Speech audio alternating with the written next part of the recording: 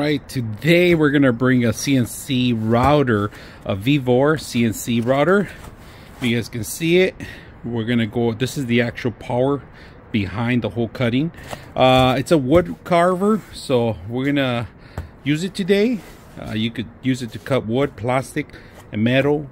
Um, pretty much a lot of things that you could replace the, the head with, all right? So we're going to put it together and see how it works. Uh, this is pretty much how you get it out of the box. It's very heavy. Um, you're going to require probably two people to lift this. about 60 pounds, all right? So don't use your back. Make sure you lift properly when you're carrying this. Each piece is separated with foam, well secure. Uh, the instructions are included. It's not very difficult to put together.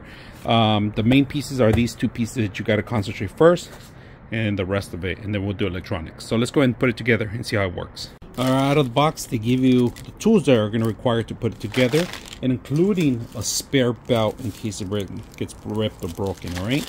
Now i like that they include everything together right out of the box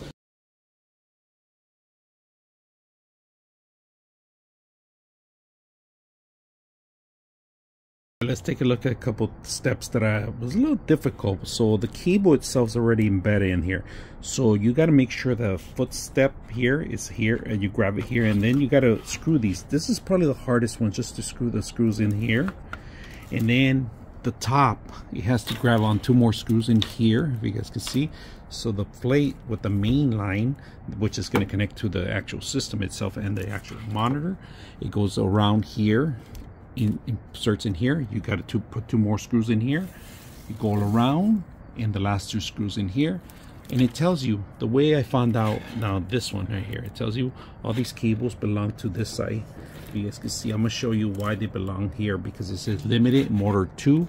And then this one says 2Y, which is 2Y right here. All right, and the other side, it says other things. So we do have our X, everything's labeled, well labeled. Um, but this is pretty much that's going to go into the main system in there. So we're going to run that after. All right we got all these down already. We're plugging them in. We don't have a laser. We're not doing we're doing spindle. We're not doing doing laser. So if you do have a laser you could add it on here. So today we're not going to do that. And we don't have the Z probe yet connected because it's right here and that's gonna be the last part we're gonna connect to so. So just to let you guys know this part right here is where we're gonna have to put the needle in there. And we're gonna set it up where we're gonna have to plug this in. It's a little difficult because you have to make sure you lift this up and the Z motor um, you could do it manually. Now we got the needle in there. You guys can see it. Make sure you do this tighten it up. Do it hand first and if you can't do a tool for after right? So just grab it right and twist it. Not too tight but enough where this thing's not gonna fall so we're gonna crank it up. Now recommendation. If you're gonna use a pc you're gonna use your usb you, you can't connect this all right? You need to take this off all right? But today we're not gonna use it right now. We're gonna use just the demo they came with. So we're gonna set that up. Get the micro sd card. We could set it up in here you guys can see it belongs in there but we're not going to set up yet. We're going to program it first so let's crank it up. All right we got it working. It didn't want to turn on but you got to unlock it here on the stop sign. This is to shut it down completely. And we're to test it out right now. We're just going to turn it on. We zero it in. You guys can see it. Complete zero. You just hit the zero. It tells you exactly where the zero's at. So we're going to go to movement and we're going to spin it. Look at the spinner you're able to control here the spinner and we're able to turn it off too. So we're not ready to spin yet. So what we're gonna do now that we know that's zero. All right for the Z probe is simple. I have it ready here. Put it underneath make sure there's nothing around it.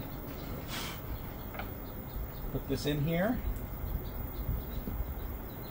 Grab the crocodile teeth in here or alligator whatever they call them put in there make sure you put the zero hit the zero and it's going to go down. It's to go down to to it touches. Once it touches it raises itself up automatically. There it is. So it zeroed in already. So let's go ahead to the next step